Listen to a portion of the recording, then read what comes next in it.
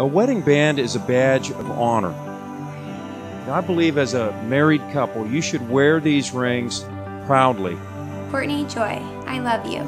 From the day I met you, I knew that you were special to me. My heart was immediately taken by your beautiful smile and your spunky personality. I vow to give you the best of me for the rest of my life. I'm so excited to see where our lives take us.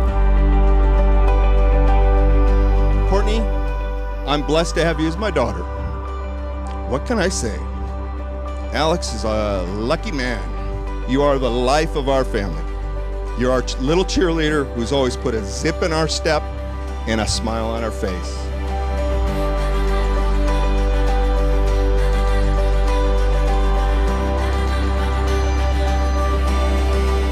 Alexander Eric Amundsen.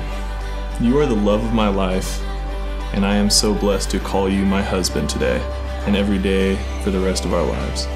You're the greatest, most loving, patient, thoughtful man I know. You bring so much happiness into my life and truly are a dream come true. I jokingly told him, I was like, Have you told her the L word yet? And he goes, Yeah. I was like, What? Because right then and there, when he told me that he told her that he loved her, I knew that would be my future sister right there. Every time this man looks at you and tells you that he loves you, he absolutely means it. You are the only woman he has ever told that to.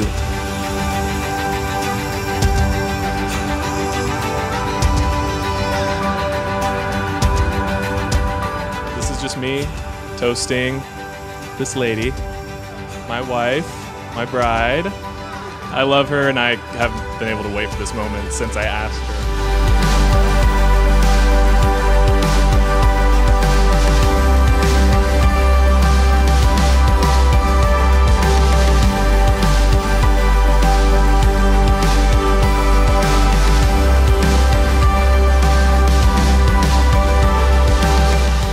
She's my sister by blood, but she's my best friend by choice.